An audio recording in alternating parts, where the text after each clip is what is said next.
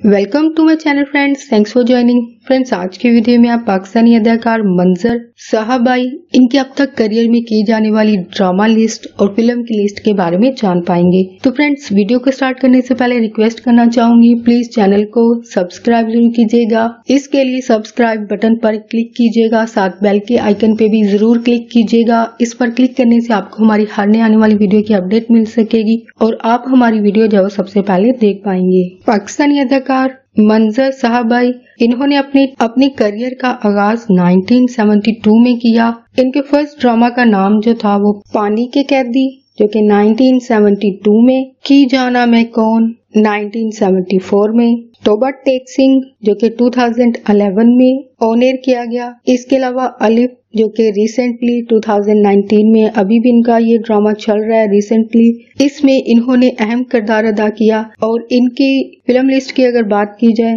2011 में इन्होंने अपने करियर की पहली फ़िल्म जो कि बोल और इसी फ़िल्म से इनको जब वो पहचान मिली और यही फ़िल्म इनके दोबारा करियर की वजह भी बनी, जो कि 2011 में रिलीज़ की गई। आज भी इस फ़िल्म को लोग याद करते हैं और इस फ़िल्म को पसंद भी करते हैं। 2013 में जिंदाबाद। 2014 में यारब 2016 में माहिमीर। ये इनकी अब तक करियर में की जाने वाली फ़िल्म और ड्रामा की लिस्ट है। और इसके अलावा एक और बात शेयर करना चाहूँगी रिसेंटली इनकी शादी पाकिस्तानी सीनियर एक्ट्रेस समीना अहमद से हुई है, जो कि रिसेंटली इनकी शादी जब हुई है, जिसको कुछ लोगों ने पसंद किया है। और सारी बातें इस एज में शादी करने वाले लोगों के बारे में अक्सर लोग जो है वो बहुत सारी बातें भी बनाते हैं, जो कि एक हकीकत है। बट स्टिल इन लोगों ने शादी की है तो आई थिंक ये एक अच्छी बात है, अच्छी चीज़ है। इनकी शादी के हवाले से एक सोशल बिहेवियर जो कि हमें आसपास देखने को, सुनने को मिलता है। तो मैं इसके हवाले से भी एक बात जो है वो साथ शेयर करना चाहूँगी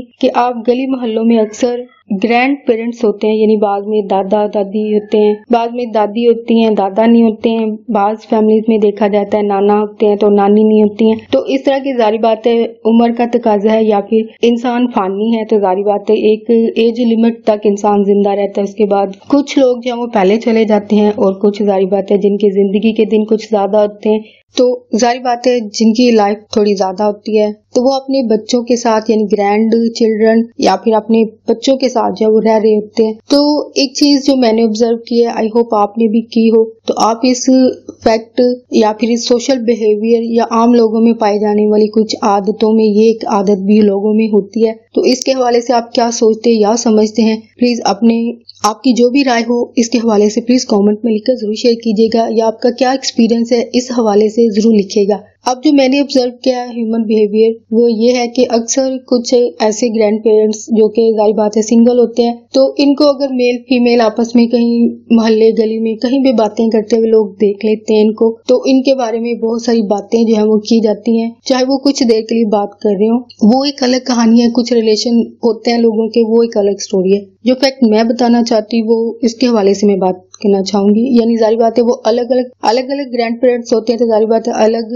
अलग जगहों में रह रहे होते हैं, लेकिन आपस में थोड़ी देर के लिए जब बात करते हैं तो जो चैम गोइयाँ की जाती हैं, जो लोग बातें करते हैं, जो जुमले और अल्फाज इस्तेमाल किए जाते हैं, यकीनन। कहने वालों को शायद पता भी नहीं चलता कि इन अल्फाज से दूसरों का इमेज कितना डैमेज होता है, खराब होता है। और स्पेशली एज के इस हिस्से में जब आई थिंक हर किसी को रिस्पेक्ट जो वो देना चाहिए ग्रैंड पेरेंट्स को तो आई थिंक मुझे वो अल्फाज बताने की ज़रूरत नहीं है, क्योंकि बहुत सारे लोगों को इन अल्फाज का पता होगा जब इन लोगों के बारे में कहा जाता है। तो आई थिंक कुछ देर के लिए बात करना doesn't mean something between them या फिर something going something going wrong between them तो सोशल लाइफ में इंसान एक दूसरे से बात करता है। तो इसका मतलब ये नहीं है कि आप उनका मज़ाक उड़ाएँ या फिर उनका रिलेशन आप अपने से ही खुद ही बना लिए जाएँ और इर्द गिर्द मिलने वालों में चाय मगोइयाँ करते फिरें और मज़ाक उड़ाते फिरें और उनके पास गुजरने से भी अजीब अजीब तरह से अल्फाज जो है वो अदा किए जाएँ, जो कि यकीनन बहुत डिसरिस्पेक्ट चीज़ है और ये बहुत कॉमन है और मैंने काफ़ी ऑब्ज़र्व किया तो आई थिंक ये चीज़ नहीं होनी चाहिए। तो आई थिंक अगर इनकी बात की जाए दोबारा से तो आई थिंक ये एक अच्छी बात है कि उन्होंने शादी की।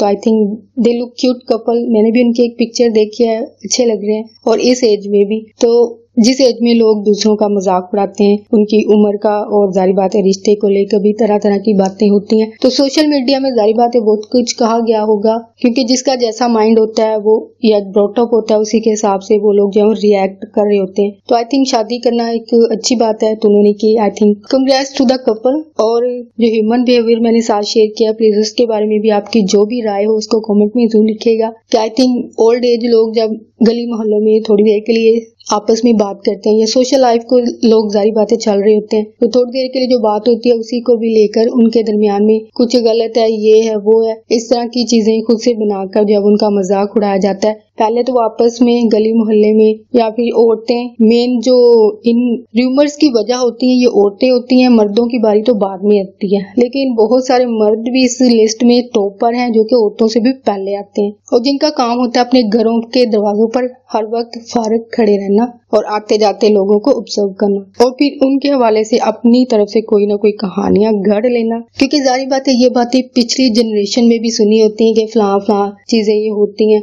जारी बातें होती होंगी, होती हैं, लेकिन आई थिंक सब में ये चीज़ें नहीं होती हैं, जो कि खुद से लोग गढ़ लेते हैं। स्पेशली ये दुश्मन होते हैं आई थिंक इनफैक्ट होते हैं, जो कि ये काम करते हैं। और मज़ाक में करते हैं और ये मज़ाक आगे जाके कितनी जिंदगियों को डैमेज करता है। यानी जारी बात है, उनके ग्रैंड पेरेंट्स को जब कुछ लोग जो होते हैं, वो डायरेक्ट भी बोल जाते हैं कि ये चीज़ की जाती है, ये चीज़ हो रही है या फिर कहा जा रहा है। जो कि आई थिंक जब उनके बच्चे या फिर ग्रैंड ग्रैंड चिल्ड्रन जब वो सुनते हो तो जारी बात है, उनके लिए ये चीज़ जब वो डिग्रेड होती है तो आई थिंक बहुत सारे लोगों ने बहुत सारी न्यूज़ सुनी भी होंगी इस हवाले से कि लोग जो है वो किस हद तक चले जाते हैं। अपने ही खानदान में बहुत कुछ उनके लड़ाई झगड़े के अलावा बहुत, लड़ाई झगड़े के अलावा बहुत सारे घरों में तो जान तक ले ली जाती है। तो आई थिंक लोगों को बात करने से पहले सोचना बहुत ज़रूरी है, क्योंकि आपके कहे गए अल्फाज किसी की ज़िंदगी को बर्बाद भी कर सकते हैं और किसी की ज़िंदगी जो वो बना भी सकते हैं। सो बी केयरफुल अपने बोलने से पहले अपने अल्फाज को लाजमी